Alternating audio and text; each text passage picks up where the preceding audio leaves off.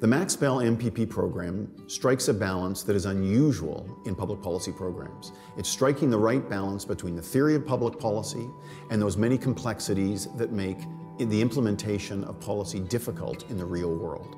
So that balance is reflected by our collection of courses. We've got core policy courses, we've got intensive uh, policy case studies, we've got a collection of seminars on those various kinds of complexities of the real world setting. We've got skills workshops that develop those very tangible skills that students will find useful in their future careers. And we've got a major policy lab, which is a key part of the overall experience. I think what needs to shine through this new Max Bell School of Public Policy is a different style of leadership.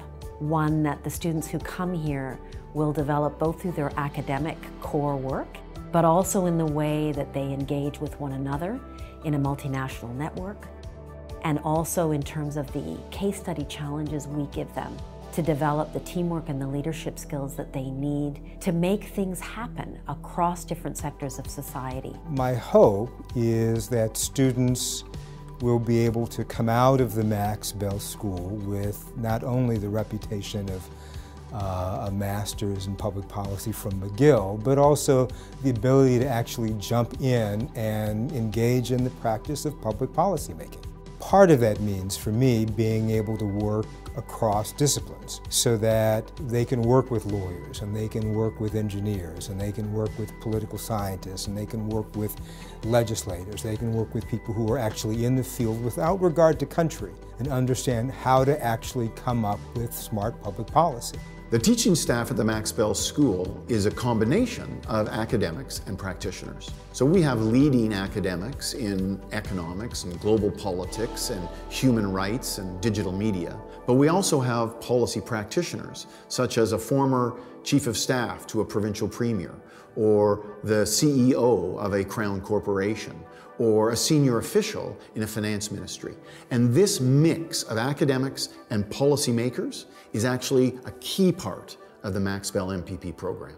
I think the MPP students who come out of Max Bell should be uniquely positioned to understand why public policy matters, partly because it's formed and framed at various levels of government, at the city level, at the provincial level, at the national level, at the global level but also because we're situated in a bilingual province, in a very multicultural city, to be able to see problems from multiple perspectives and to understand how we in the city of Montreal, the province of Quebec, the country of Canada, are connected uh, to a much broader set of actors operating in the world in our 21st century.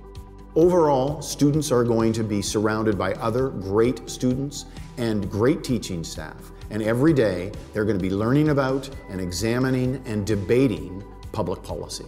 And after 11 months of all of that, students in the Max Bell MPP program are going to be ready for their next career step.